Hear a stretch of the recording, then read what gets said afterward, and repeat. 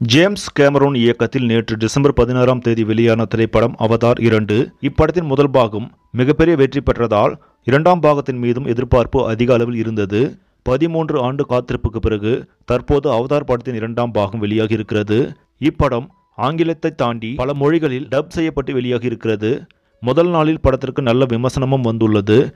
December பதினைந்தாம் தேதியே சில நாடுகளில் வெளியான இப்படம் நேற்று உலகம் முழுவதும் எல்லா நாடுகளிலும் அனைத்து மொழிகளிலும் வெளியாகி உள்ளது. சுமார் மூன்றாயிரம் கோடி பட்ஜெட்டில் தயாரான இப்படம் முதல் நாளில் மட்டுமே இந்திய மதிப்பில் இதுவரை எட்நூறு கோடி வரை வசூலித்துள்ளதாக பாக்ஸ் ஆபீஸ் வட்டாரங்கள் தெரிவிக்கின்றன.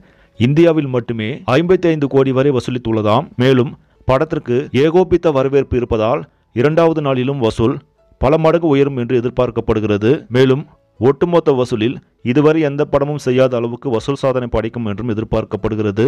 சரி நம்பர்களே இந்த செய்தி உங்களுக்கு பிடிச்சிருந்தா லைக் பண்ணுங்கள் ஷேர் பண்ணுங்கள் மறக்காமல் நியூஸ் தமிழ் சேனலை சப்ஸ்கிரைப் பண்ணுங்க. அடுத்த வீடியோவில் சந்திக்கலாம். நன்றி.